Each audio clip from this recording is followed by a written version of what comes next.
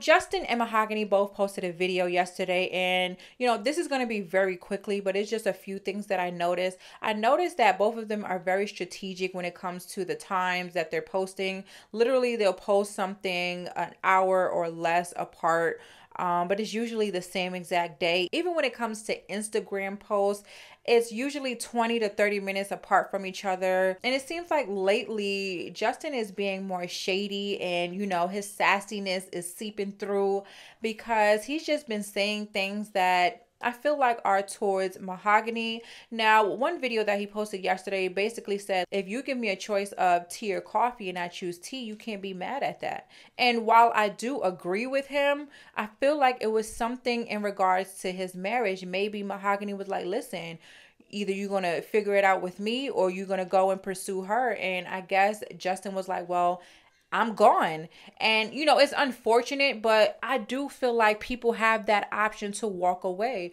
They got with each other when they were very, very young and you know things change people change feelings change. And i just feel like a lot of the times you got to let things go. Now i'm reading the comments and a lot of people are like well you guys need to go to therapy and things like that. And it's like if it's not doing you any good and you don't see a future why force that just because they got married? I feel like there's an option for divorce for a reason. And honestly i look at this as something that's good for mahogany and the boys because we already see how you know he's a dictator in that house uh, there's a few of you that have commented recently and said, "No, you know, I don't I don't see fear in those kids. They love him." And I don't know what y'all looking at, but when I look at those boys when they're around him, they always are looking as if, you know, they don't want to make a mistake, they don't want to do anything wrong. It's one thing to have structure and discipline your children, but it's another to instill fear so that they, you know, don't really want to make a mistake because they're scared of the consequences. And I feel like he is that type of person with them getting a divorce, now this is just for the sake of the argument, I'm gonna just go with it.